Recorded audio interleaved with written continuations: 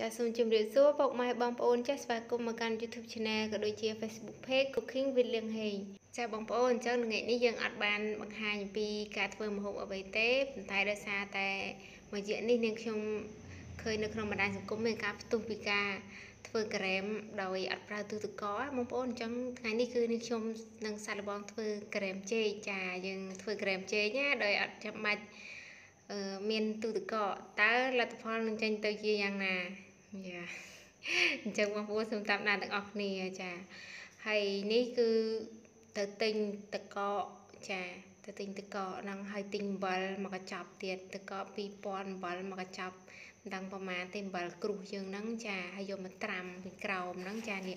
ដាក់ខ្ទះហើយមើលទៅវាស្ទើអញ្ចឹងហើយថែមទឹកកកថែមអំបិលទៀតចាដាក់ខ្ទះ ចាស្ទើអំបិលទៀតដាក់អំបិលសាទៀតចាអូឥឡូវយើងចាប់ផ្ដើមហើយចានេះយើងចាក់ចេកចូលចាដំបងចេកនេះប្រើ4ផ្លែចាហើយបើសិនជាបងប្អូនមានជាមួយនឹងម៉ាស៊ីនក្លុកអាចប្រើម៉ាស៊ីនក្លុកក្លុកជាមួយនឹងអឺទឹកដោះគោក៏ដូចជាស្ករបើសិនជាចង់ផ្អែមយើងក្លុកវាឲ្យវាសັບចូលគ្នាហើយចាំយកមកកូរចា ប៉ុន្តែដោយសារតែនាងខ្ញុំអត់មានអឺម៉ាស៊ីនក្លុកអញ្ចឹងហើយយកចេកហ្នឹងទៅបុកបុកហើយបានយកមកចាក់អញ្ចឹងដូចបងប្អូនឃើញអញ្ចឹងចាហើយយើងបន្ថែមជាមួយនឹងទឹកដោះគោឆៅអូមិនទឹកដោះគោឆៅទេចាសំទោសគឺទឹកដោះគោស្រស់មួយកញ្ចប់ចាហើយបន្ថែមជាមួយនឹងទឹកដោះគោខាប់មកល្មមទៀតណាហ្នឹងណាចាហើយនេះគឺយើងបន្ថែមអំបិលបន្តិចឲ្យវាមានជាតិមុតណាឲ្យវាមានរសជាតិអឺ ផ្អែមមុតអញ្ចឹងណាបងប្អូនចាឥឡូវចាប់ផ្ដើមច្បល់ហើយគឺច្បល់នៅលើទឹកកកនឹងតែម្ដងចាហើយខ្ទះហ្នឹងឡើងតិចស្រេបចាឥឡូវច្បល់ហើយច្បល់ទៅច្បល់មកច្បល់ទៅច្បល់មកបងប្អូនដឹងថាជាពេលប៉ុន្មានដើម្បីចេញលទ្ធផលមកចេញជាក្រែមជេកចា ពីដំបងស្វាហាប់ណាបងប្អូនតាមពិតទៅបងប្អូនឃើញដៃកម្មាប់កម្មាប់ចឹងហ្នឹងមិនមែននាងខ្ញុំទេចាសំទោសគឺ IT ចា IT គូក្រាមចានេះបងប្អូនចាអង្គុយផងកន្លែងនេះយោយោយោយោអើបងនេះស្រស់ញឹមចាពីដំបងនៅញឹមអញ្ចឹង តែមើលទៅពីតិចទៀតណាគោយូរយូរចាំមើលមុខស្អុយប៉ែចានេះអានេះគេនៅละឯងឡើយបងប្អូនចានេះគេធ្វើខ្លួនកែហ្នឹងចាហើយខ្ញុំនេះថតចាអឺចាប់ដើមហើយនេះនេះនេះចុកដៃហ៎ឥឡូវ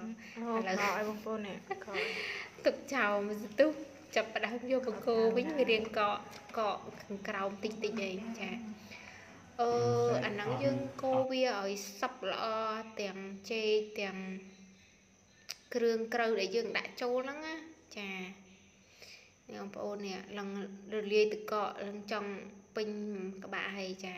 នេះខ្ញុំហៅក្បាក់ចាចាហៅចាន់ដែកនេះបងប្អូនបន្ទាប់ពីកោរយៈពេល1ម៉ោងជិត1ម៉ោងអត់កកចាចុងក្រោយយកទៅដាក់នៅក្នុងទូទឹកកកទៅដែរហើយនេះបងអើយកកចាយកទៅដាក់ក្នុងទូទឹកកកហ្នឹងអានេះគឺរយៈពេលកន្លះម៉ោងនេះកកបានប៉ុណ្ណឹងណាបានចាប៉ុណ្ណឹងហើយយកមកភ្លក់ម្សាឆ្ងាញ់ណាស់បងប្អូនចា យកមកភ្លក់ម្សាហើយមិនសុខចិត្តយកទៅដាក់ក្នុងទូទឹកកកចារយៈពេល2ម៉ោងទៀតដាក់ចោលក្នុងទូទឹកកករយៈពេល2ម៉ោងទៀតឥឡូវយកមកគឺលទ្ធផលគឺរឹងល្អចា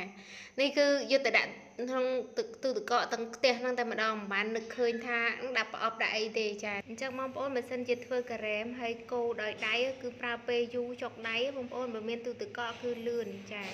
នេះគឺរឹងពេកទុកឲ្យវារាំងទុនបន្តិចហើយយកមកញ៉ាំចាឆ្ងាញ់អូខេអរគុណច្រើនបងប្អូននៅវីដេអូក្រោយទៀតបាយបាយ